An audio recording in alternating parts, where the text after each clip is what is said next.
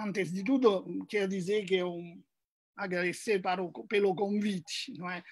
Eh, para os, os, organizadores, o projeto de extensão que você coordena, e também expressar a minha alegria por estar aqui com a professora Miriam Ribeiro de Oliveira, que admiro desde a minha chegada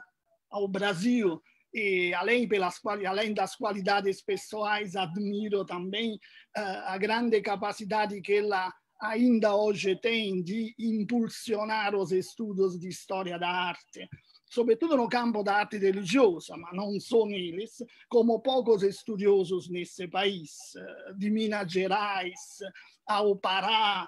as missões do Sul, uh, conheço em todos os lugares onde eu vou no Brasil, sempre encontro alguém que me diz: Ah, foi a professora Miriam que me impulsionou a fazer isso. Participei de um projeto que a professora Miriam começou. Então, digamos assim, é uma grande satisfação vê-la ainda que está em plena forma e continua nessa sua uh, incansável atividade de impulsionar os estudos. Também gostaria de,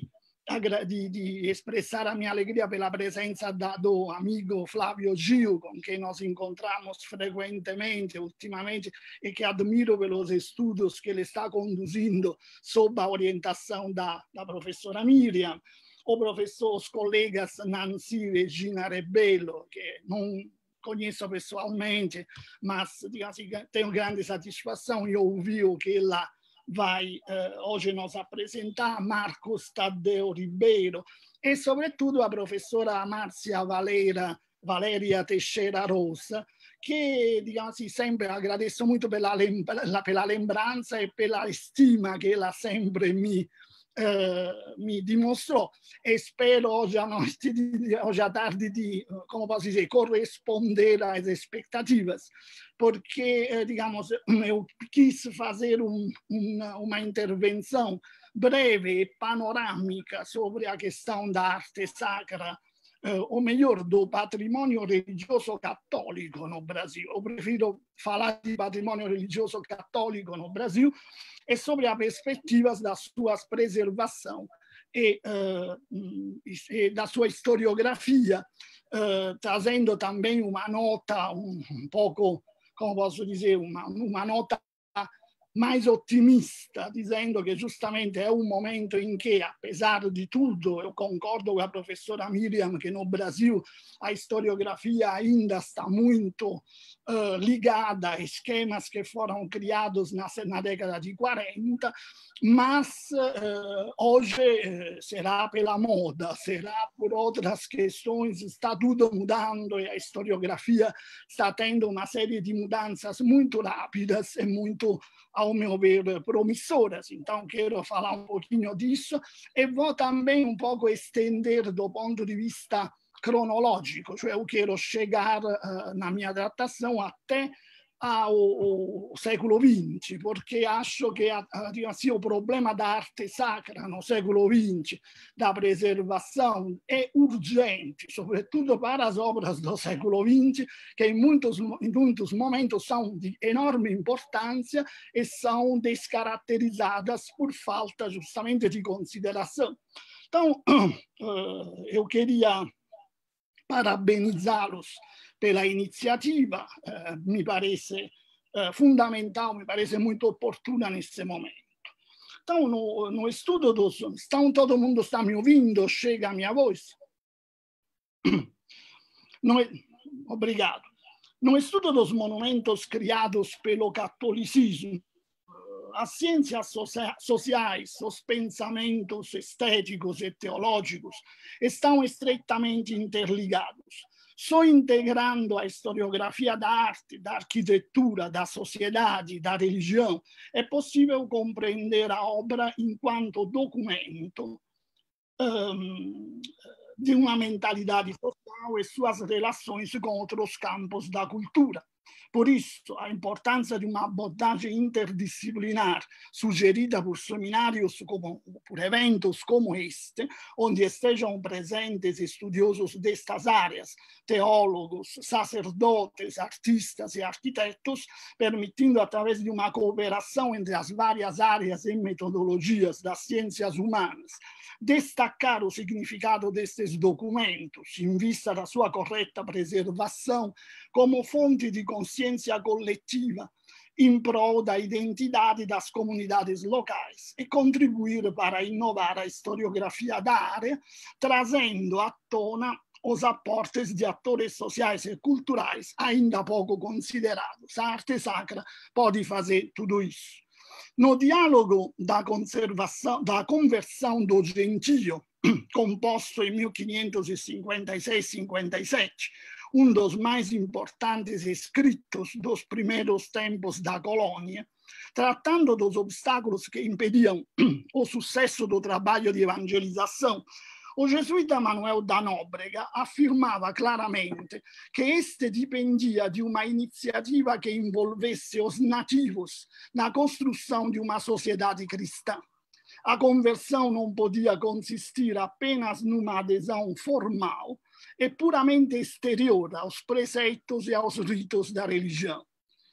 Só por meio do trabalho seria possível afastar os indígenas dos hábitos ancestrais, contrários à ética do cristianismo para Nóbrega, e promover uma nova forma de vida social e religiosa. Por isso, o papel das artes e dos ofícios seria de primária importância na ação missionária. O personagem mais importante do, do diálogo é um irmão ferreiro, ou Nogueira, e não o língua, isto é, o tradutor, Gonzalo Álvares. No Brasil da época colonial, os monumentos da arte e da arquitetura religiosa católica são em grande parte documentos de intercâmbios e dos embates entre as culturas indígenas e as concepções europeias, sobretudo portuguesas, introduzidas por obra dos jesuítas e de outras congregações. Essas complexas relações deram vida às primeiras manifestações de um pensamento mestiço, para usar as palavras do historiador Serge Gruzinski, que é um ponto de referência importante para a historiografia atual. O estudo dos fenômenos de transculturação se torna, portanto, um elemento chave para o esclarecimento das dinâmicas da cultura em todos os campos das ciências humanas e para uma abordagem historiográfica que busque renovar a área de história da arte e da, da arquitetura brasileira. A partir de um ponto de vista local e ao mesmo tempo global, distinto da dialética convencional entre recepção de modelos elaborados do centro e sua passiva tradução à periferia. Também neste caso, podemos repetir as palavras de Aloysio Magalhães a propósito do patrimônio cultural do Brasil. A nossa realidade é riquíssima, mas ainda desconhecida. É essa realidade que precisa ser levantada é como se o Brasil fosse um espaço imenso, muito rico, é um tapete vermelho, um tapete velho, rosado, um tapete europeu cheio de bolor e poeira, tentasse cobrir e abafar esse espaço. É preciso levantar esse tapete, tentar entender o que se passa por baixo. Nos últimos quatro anos, tive a felicidade de ser colaborador de um projeto jovem pesquisador barroco cifrado, pluralidade cultural na arte e na arquitetura das missões jesuíticas no território do estado de São Paulo, financiado pela FAPESP e coordenado pela professora Renata Maria de Almeida Martins, mais uma aluna que começou o seu trabalho com a professora Miriam, que saúdo, eh, junto à Faculdade de Arquitetura e Urbanismo da USP. A abrangência da sua proposta metodológica, que busca unir a abordagem da arqueologia, da história da arte, da arquitetura, numa perspectiva integrada num contexto latino-americano, permitiu, em muitos casos, uma revisão ou um aprofundamento de dados tradicionalmente aceitos pela historiografia do período colonial uh, em textos publicados em ocasião de um seminário que promovemos juntos em novembro de 2019, junto ao Instituto, Instituto de Estudos Avançados da USP, intitulado Decoração dos Espaços Católicos no Brasil, de continuidades e rupturas, eh, se fez uma proposta, foram mostrados alguns resultados interessantes desse, desse trabalho de Uh, a professora Martins fez uma proposta de uma mais precisa datação e de uma convincente determinação da procedência de ateliês portugueses da primeira metade do século XVII, dos fragmentos dos mais antigos retábulos entalhados existentes no território paulista, isto é, aqueles do sítio de Santo Antônio, em São Roque, e da fazenda de Voturuna, baseada numa comparação com os retábulos da antiga igreja do Colégio Jesuítico de do Rio de Janeiro, hoje conservados na igreja de Nossa Senhora do Bom Sucesso. Me permitem um minuto para compartilhar a tela.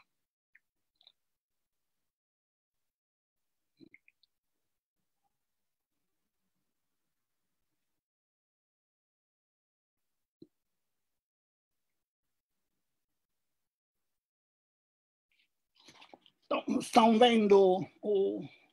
as imagens estão aparecendo. Então, aqui temos o retábulo que todo mundo conhece da, do Colégio Jesuítico Rio e uh, um detalhe da sua uh, parte superior, do seu remate, e aqui temos o retábulo da Capela da Fazenda de Voturuna, que podemos datar na base da, de uma comparação estilística entre 1630 e 1640, e certamente de origem portuguesa, embora digamos assim, outras hipóteses tenham preferido falar de uma procedência, por exemplo, das missões do Paraguai ou de, de outros elementos ligados à presença de índios vindos das missões. Mas não temos nenhuma comprovação documentária sobre isso, pelo contrário, a análise estilística mostra bastante claramente uma certa relação com a cultura manifesta portuguesa entre 1620 e 1640. São detalhes que queria mostrar muito rapidamente. Não é minha intenção, mas o projeto uh, barroco cifrado, digamos assim, foi uh, interessante também porque permitiu datar uh, de forma mais convincente também os retábulos perdidos da igreja do Colégio dos Jesuítas de São Paulo, cujos fragmentos hoje se encontram no Museu Anchieta. São pouquíssimos fragmentos, na verdade, e por meio de uma apurada análise formal, reforçar hipóteses de uma irradiação e interpretação regional do modelo da talha de estilo nacional, com, asporte, com aportes inequívocos de mão de obra indígena e mestiça. Um outro aspecto também importante que estava na, naquele, uh, naquela área, naquele âmbito da uh, circulação internacional, da qual falava, uh, essa é uma imagem do pátio do governo, mas não, não é o que queria mostrar agora para vocês. daquele âmbito da circulação internacional que vocês estavam uh, che a professora Miriam stava menzionando, isso é a circulação de modelos orientais. Por exemplo, um outro elemento interessante é justamente a relação que existe com a decoração tanto do Embu, da igreja de Embu das Artes, eh, o tetto da sacristia, quanto sobretudo o tetto do, da sacristia do seminário di Belém da Cachoeira, na Bahia attribuita a un gesuita francese, Charles Belleville, che esteve durante 10 anni a corte do imperador Kangxi e morreu na Bahia. Portanto, digamos, o progetto barroco cifrado está começando a movimentar digamos, esta, esta, esse panorama da circulação e também da transculturação, isto é, da necessidade de estudar os eh, elementos locais, de cultura local e de percepção na cultura local. No âmbito dos estudos promovidos pelo projeto, há uma significativa revisão da história social e artística dos assentamentos jesuíticos no território de São Paulo. A igreja a residência de Embu das Artes, por exemplo, eh, a capella di San Miguel, aldeia de Carapicuíba, a fazenda de Araçariguama, eram centros, na verdade, de produção, onde existiam oficinas que precisam ser, de alguma maneira, um, uh, resgatadas. O, a mesma revisão é conduzida por meio da colaboração com a Universidade do Porto e com a Universidade Federal do Espírito Santo sobre o sistema de assentamentos jesuíticos no litoral capixaba. Não se trata de uh, arte sacra, é claro, mas reexaminando os vestígios das edificações remanescentes e de outras já de desaparecidas com os métodos da arqueologia, através de um esforço, às vezes extremamente trabalhoso, de acesso às fontes primárias e de distinção crítica dos materiais originários, debaixo das inúmeras intervenções que se acumularam ao longo do tempo, será possível alcançar uma reconstrução histórica mais precisa das realidades sociais daquela época, dos aportes indígenas, que certamente não deixará de ter resultados também no campo das investigações especificamente artísticas. Um, uma das maiores dificuldades para o estudo dos monumentos religiosos do período colonial é conseguir justamente discernir o que ainda permanece de edifícios e obras originais desmembradas e dispersas e evitar de confiar de maneira imprudente no que é visível ainda hoje. Pela velocidade dos fenômenos de destruição e reconstrução característica da urbanização ao longo da história do Brasil, este discernimento crítico deve ser preliminar a qualquer investigação séria quanto mais antigos sejam o conjunto ou as obras consideradas. Portanto, é fundamental a colaboração com os arqueólogos e com os restauradores, do outro lado. Não se pode uh, uh, pensar em uma pesquisa que não seja uma pesquisa interdisciplinar, nesse sentido.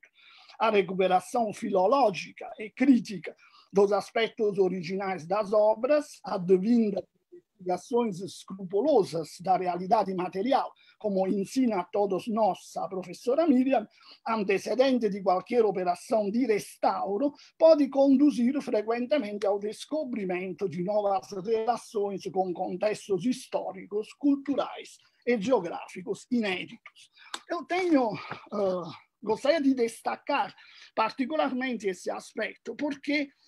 justamente da colaboração com arqueólogos e restauradores, por por muitos aspectos, eh, porque eh, até agora justamente está o levantamento che foi feito na, na, no patrimônio artístico, a ideia de restauro, eh, frequentemente e, sobre, e, também a conservação de, do patrimônio no campo dos acervos museais, frequentemente não eh, considera adequadamente a colaboração entre historiador da arte, restaurador e outras competências que são necessárias e devo dizer que eh, estamos ainda muito no começo desse, desse, desse caminho que precisa ser tomado quanto mais urgentemente. Um exemplo, na Igreja Matriz de, por exemplo, uma das recentes uh, intervenções de restauro realizada por Giulio Moraes uh, tem revelado embaixo das pinturas de tema religioso, que vocês veem aqui na Capela Amor, antes de tudo foram redescobertas essas pinturas que antes estavam uh, ocultadas debaixo de uma camada de branco. São pinturas muito curiosas, do, datadas por volta de 1786, 88, um, sobre madeira imitando azulejo, che non è una cosa molto uh, incomune não é? entre a área di São Paulo e di Minas Gerais. Uma cosa interessante è che durante il periodo di restauro foi descoberto embaixo do uh, do, do no suporte uma assinatura de um artista até agora conhecido só por documentos, Matias Teixeira da Silva, e uma data 1788 que modifica, modifica bastante a cronologia do que se pensava em relação a estas pinturas. E, curiosamente, embaixo delas também eh, eh, as brincadeiras, não sabemos se feitas pelo próprio Mateus Teixeira da Silva, que mostram, por exemplo, uma espécie de crônica da, dos costumes de tu. Aqui tem uma cena de caça, tem até uma onde se vê um tatu, não é? Essas, publicações, essas pinturas foram publicadas por um pesquisador do, do muito importante, que é o Carlos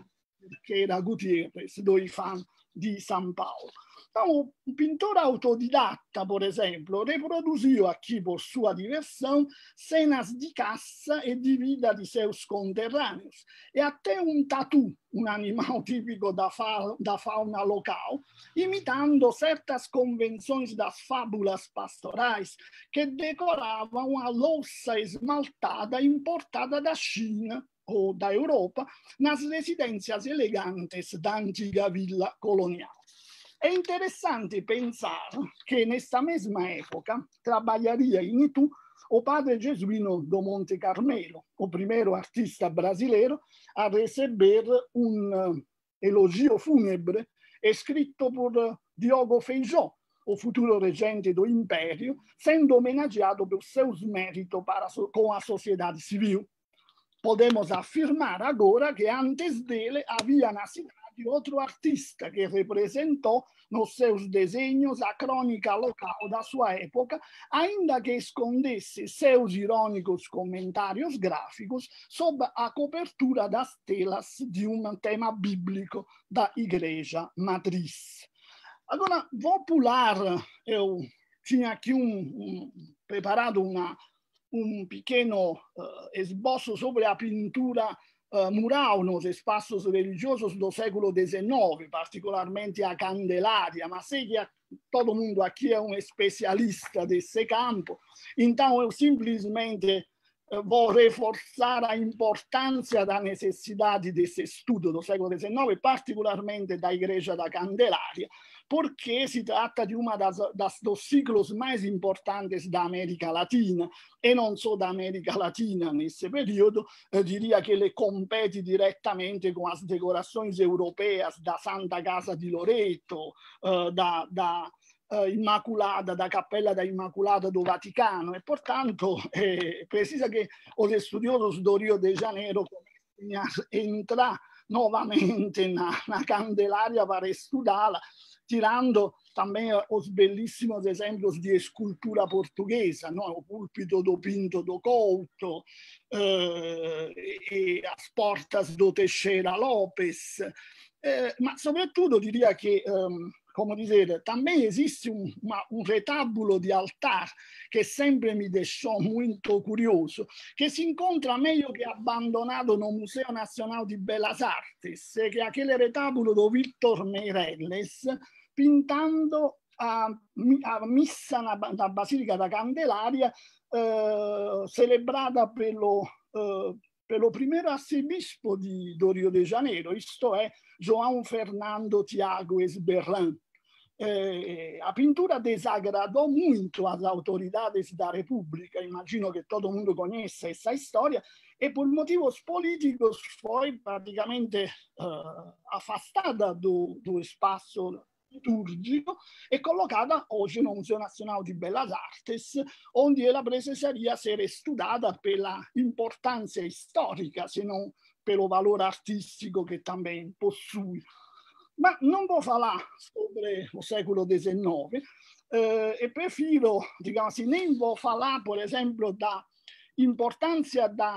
política eh, de alguns eclesiásticos em relação ao, a conservação, a criação de acervos, cioè num momento de acervos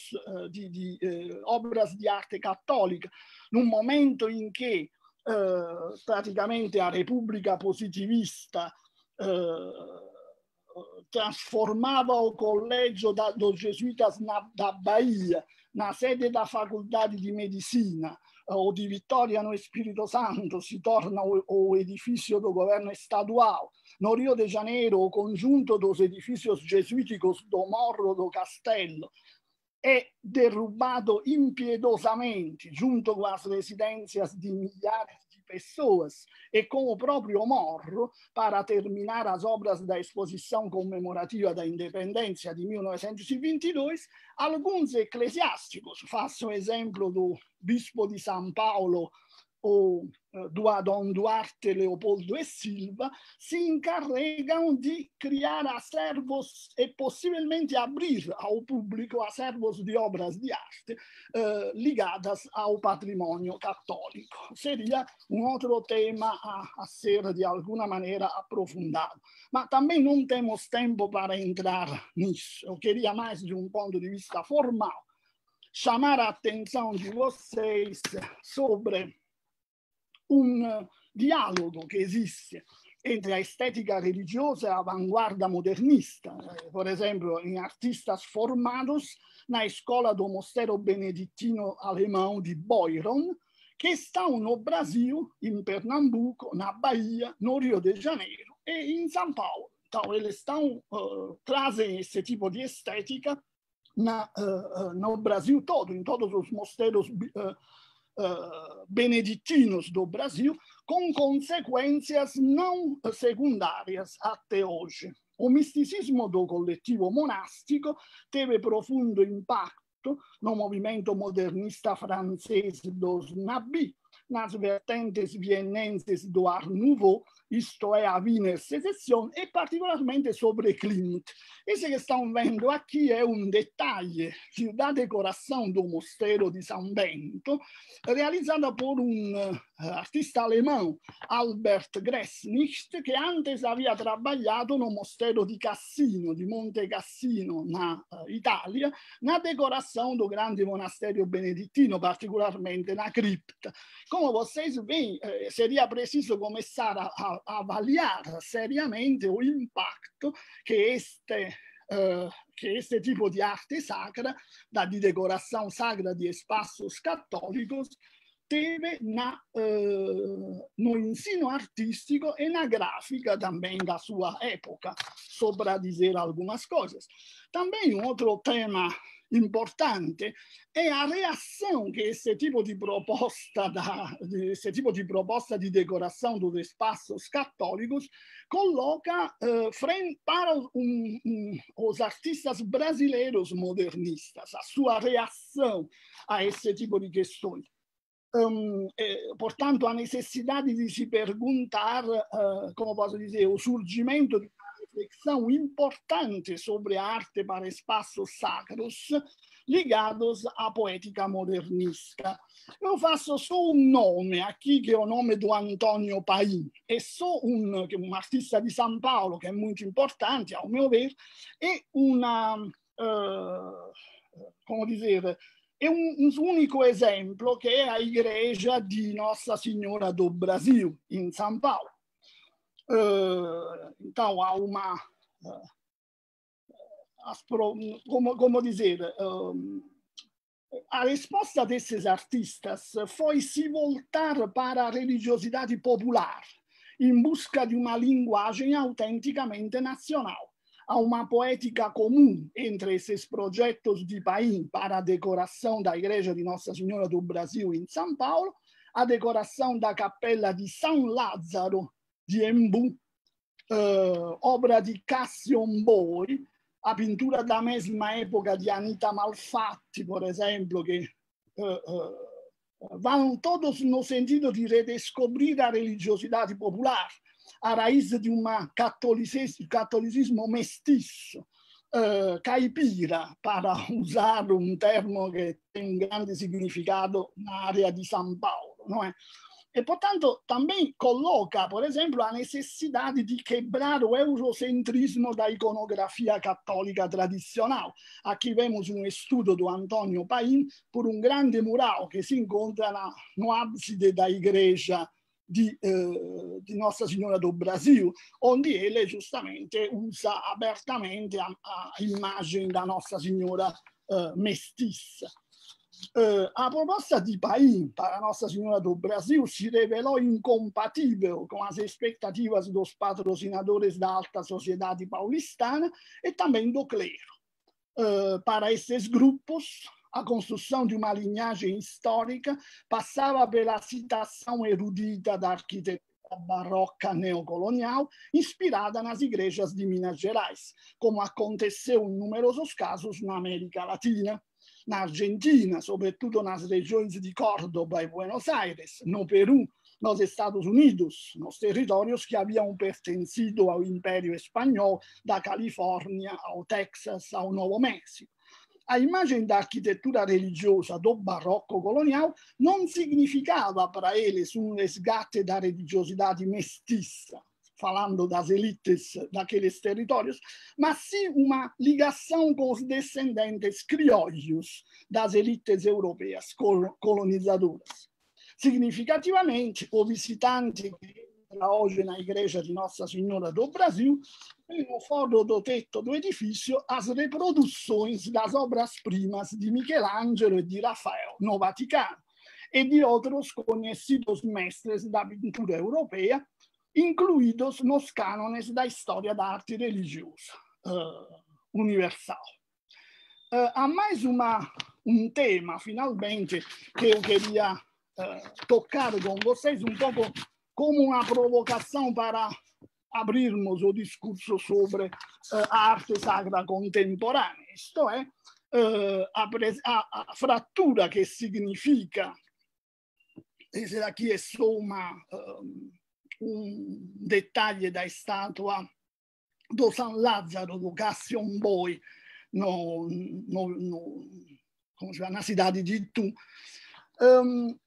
a fratura che significa para a arte religiosa o Concílio Vaticano II, isto é, a relação que o Concílio Vaticano II busca estabelecer com os artistas, inclusive com artistas laicos, não é? ou abertamente não ligados a igrejas, ou abertamente críticos em relação à moral católica, e como isso se reflete eh, no Brasil. Não é? Daqui é uma imagem da Cappella da Nonna di, Brodowski, opera di Candido Portinari, giustamente, che è una cappella privata dentro da casa do artista. Um, então, Portinari, eu quero mostrar três exemplos só para concluir que são que são que têm algo em comum. As três obras estão no mesmo território do estado de São Paulo. Brodowski Um território particolarmente fértil desse ponto de vista. Então, o, na, na, década de 50, a Igreja Católica experimentava o diálogo com o universo da arte moderna. Decorações de novos importantes espaços religiosos eram encomendadas a artistas declaradamente ateus, na França como na Itália, Henri Matisse e Jean Cocteau, assumidamente homossexual, criou, criaram capelas para as orações da comunidade de pescador uh, de pescadores à beiras do Mediterrâneo. O primeiro, a Chapelle du Rosaire de Vence, e o segundo, a Capela de Saint-Pierre-le-Pêcheur, a Villefranche-sur-Mer. Ambos fizeram poéticas não distantes daquelas dos artistas brasileiros, em busca de uma linguagem popular o escultor italiano Giacomo Manzù realizzò a ultima porta da Basilica di San Pedro num dialogo emozionante com o próprio Papa João XXIII, quase percorrendo as etapas de uma pessoal via sacra ou de um caminho para uma dolente, eh, do, do, dolente, dolorosa religiosidade laica che redimisse o homem do tremendo pecado da guerra. Contudo,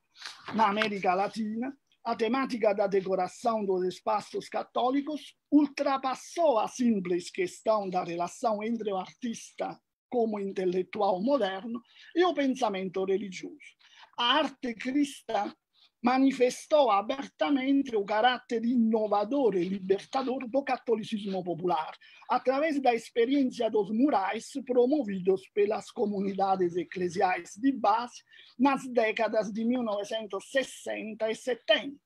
É o caso das obras de Mino Cerezo Barredo, caracterizadas pela participação ativa do povo na elaboração da temática e da iconografia, inspiradas pelas teses da teologia da libertação. Estou falando de obras espalhadas no Peru, na Colômbia, no Nicarágua, mas, sobretudo, nas periferias urbanas e rurais do Brasil. Uh, o, o Cerezo Barredo é o autor da decoração mural da Capela dos Mártires, da, do, do Santuário dos Mártires de São Félix do Araguaia, que podem ver aqui. Uh, essa foto foi tirada, inclusive, uh, no momento da comemoração da morte do bispo Pedro Casaldáliga, que foi o mentor e o promotor desse tipo de arte no, uh, no, no, na prelacia di San Felix di Araguaia. E um, como dizer, esse tipo de, eh, de arte teve um peso internacional que talvez precisa ser, de alguma maneira, reavaliado, redescoberto. Penso só na gráfica, que até hoje si vê justamente, na, uh, teve un'influenza uh, até na própria gráfica cattolica e non cattolica europea, diria. O, finalmente, quero só terminar citando o nome do Claudio Pastro, porque digamos, é, impossível terminar ou pensar uma, um, um panorama da arte contemporânea sacra uh, católica no Brasil sem citar o nome desse artista. Aqui estamos no interior do pátio do colégio, naturalmente famoso sobretudo pela, pela decoração do interior da Basílica de Nossa Senhora Aparecida, uh, justamente no momento em que uh, essa decoração está para ser uh, alterada pela intervenção também de um novo artista, que é o Marco Rupnik, não brasileiro, um, um, um artista croata, que é um especialista internacional de decoração em mosaico. Isso também faz pensar em como isso funciona, né? em como o mercado da arte, inclusive sacra, internacional e global, funciona. A última imagem que eu deixo ali sobre a reflexão é o interior da Igreja do Espírito Santo do Cerrado de uh, Uberlândia, em Minas Gerais, obra de Lina Bobardi, num momento em que ela se ocupava da arte das tecelã, da, do tecido, da arte popular do tecido, na área do Triângulo Mineiro, e chega a fazer essa igreja que é fruto de um mutirão. É uma igreja franciscana frutta di un mutirão, justamente, promovido pelos frades e com a ajuda de toda a comunidade, ela constrói esse grande edifício circular. Hum, vou encerrar aqui porque não temos mais tempo. Na verdade, é muito mais. Eu sou que depois podemos conversar. Desculpa, professor. É, pois é, desculpa ter que cortar, ter que interromper a sua não, apresentação. Eu, eu, sempre faço isso, sempre trago mais material do que eu posso mostrar, porque depois me gosto de continuar uh, a, a conversa. Não se preocupe. Sim. Obrigada, muito obrigada. E mais uma palestra que mostra essa abertura, a necessidade dessa interdisciplinaridade, esse incentivo é, as suas propostas, né, de que se estude, que se aprofundem os estudos, que se tire realmente do tapete questões que foram esquecidas ou deixadas e precisa um estudo mais acurado, mais determinado. Muito obrigada por essa provocação para todos nós. Tá?